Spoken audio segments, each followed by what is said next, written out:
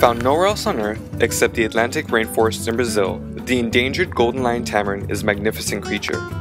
Massive deforestation for agriculture and development in this coastal region once pushed these tiny primates to the brink of extinction.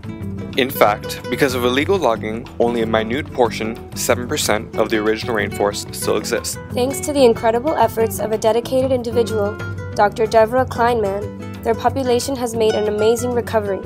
Through the rehabilitation and reintroduction of captive animals, Dr. Kleiman was able to increase the wild population from a pitiful 200 in 1981 to close to 2,000 today.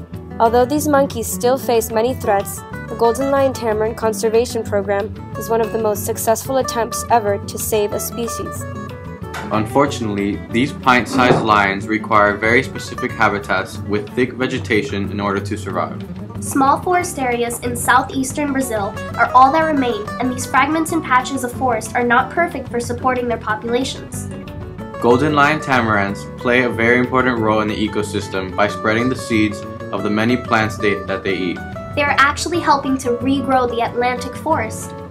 It is easy to see why this striking primate makes the perfect champion for forest conservation. There are few animals on Earth as beautiful as this fiery orange tamarin, or as interesting.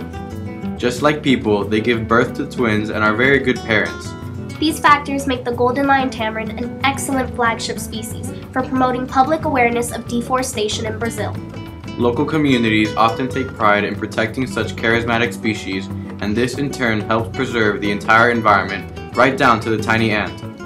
Probably the most important solution for keeping golden lion tamarins alive in the wild is the specific efforts being made by organizations such as Zoo Atlanta through the creation of forest corridors that will link the few remaining fragments together. These corridors may be the best hope for providing a future for these amazing monkeys. You can help too by supporting conservation organizations working to protect the golden lion tamarin by writing to the Brazilian government and asking them to establish more protected areas and by telling your friends and family. It's never too late. Please help protect the golden lion tamarins.